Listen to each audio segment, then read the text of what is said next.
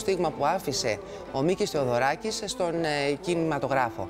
Θα συνομιλήσουμε και θα τον χαιρετήσουμε ευθύς αμέσως τον συνάδελφο τον Αλέξανδρο Ρωμανό Λιζάρδο που έχει ετοιμάσει τις, ε, ε, γιατί ήταν πολλές αυτές τις, τις, τις στιγμές και αυτό το στίγμα το ανεξίτηλο Αλέξανδρε του Μίκη Θεοδωράκη στο σινεμά, στον κινηματογράφο σε καταπληκτικές ταινίες τα σπουδαιότερα λοιπόν σημεία. Ο Μίκης Θεοδωράκης είχε μια πολύ σημαντική καριέρα και στον κινηματογράφο και δεν είναι καθόλου τυχαίο το ότι ήταν υποψήφιος ε, για βραβείο Γκράμι, για Χρυσή Σφαίρα. Είχε κερδίσει και βραβείο Μπάφτα. Πρόκειται λοιπόν για μια από τι πολύ Να μην ξεχάσουμε ότι ήταν και υποψήφιος με την αφορμή που το λες, γιατί ήταν πολλές οι τιμές που το είχαν γίνει. Ήταν υποψήφιος και ε, για Νόμπελ Ειρήνης γύρω στο 2000, αν δεν κάνω λάθος.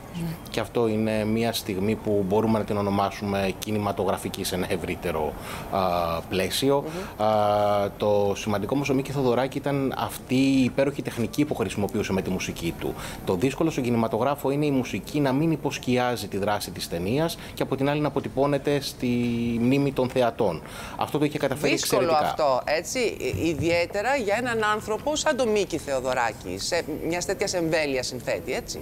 Ε, αυτή τη δυσκολία μπορούσε να την ε, εξαφανίσεις σε πολύ μικρό χρονικό διάστημα, ακριβώς γιατί συνεργαζόταν με πολύ μεγάλους σκηνοθέτες. Μπορούμε να αναφέρουμε τον Κώστα Γαβρά, τον ε, Ζήλντα Σέν ως δύο χαρακτηριστικά παραδείγματα. Ε, σκηνοθετών οι οποίοι γνωρίζουν πάρα πολύ καλά τη γλώσσα του κινηματογράφου και μπορούν να συνεννοηθούν και με τους ανθρώπους που ξέρουν ότι η δική τους ψηφίδα θα πάει την ταινία τους ένα βήμα παρακάτω. Βλέποντας ξανά λοιπόν ε, τη μεγάλη του συμμετοχή στον ε, κινηματογράφο, αναγνωρίζουμε ε, την τεχνική την οποία χρησιμοποιούσε, η οποία δεν εξαφάνιζε το προσωπικό του στίγμα. Αυτό που ακούμε στην μουσική του είναι αυτό το οποίο μπορεί να περάσει και μέσα από την ταινία.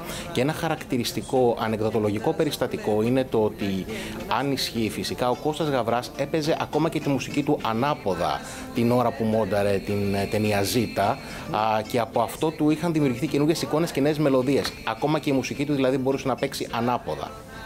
Καταπληκτικό λοιπόν αυτό. Τον είδαμε εδώ στις ε, φωτογραφίες με τα παιδιά του, ε, το γιο του και την κόρη του την ε, Μαργαρίτα.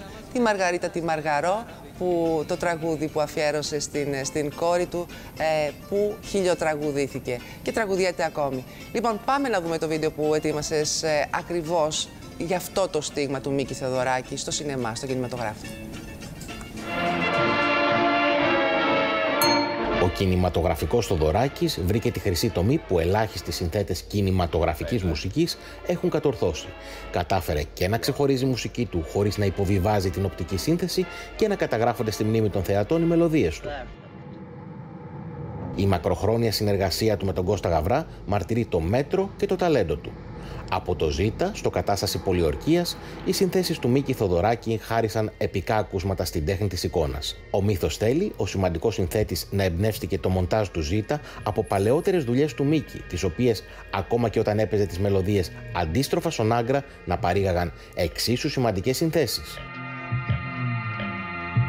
Ο Μιχάλης Κακογιάννης συνεργάζεται μαζί του στην επική τριλογία του, όπου το αρχαίο δράμα συναντάει τον παγκόσμιο πολιτισμό η Ηλέκτρα, Τροάδες, Ιφηγένεια, όπως και η εμβληματική μουσική για τον Ζορμπά, ένα άκουσμα που παγκοσμίως θυμίζει η Ελλάδα.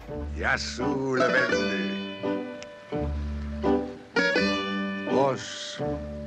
I have so much to tell you. Ο Ζιλ Ντασέν σε αρκετές ταινίες συνεργάζεται με το μεγάλο μουσικό συνθέτη. Αξεπέραστες είναι όμως οι μελωδίες και τα τραγούδια που γράφει για την κινηματογραφική μεταφορά της Φέδρας με τη Μελίνα Μερκούρη στον ομώνυμο ρόλο. I like it.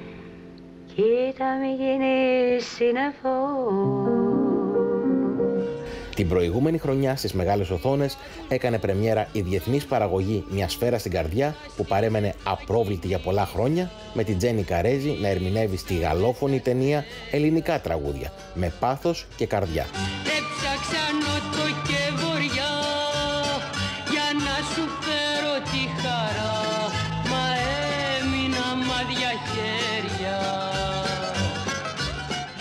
Η μεγαλύτερη παγκόσμια επιτυχία του σε διεθνή παραγωγή ήταν όμως η μουσική σύνθεση για το Σέρπικο, ταινία που απογειώνει η ερμηνεία του Αλπατσίνο.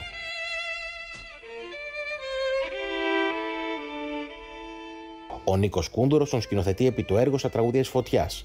Ο Αστέρης Κούτουλας σκηνοθετεί και τον ενσωματώνει στα ντοκιμαντέρ του που παραμένουν εμπνευσμένα από το έργο του. Τελευταία του μουσική σύνθεση έγινε για την ταινία του Άνθιμου Ανανιάδη με τίτλο The Greek Job.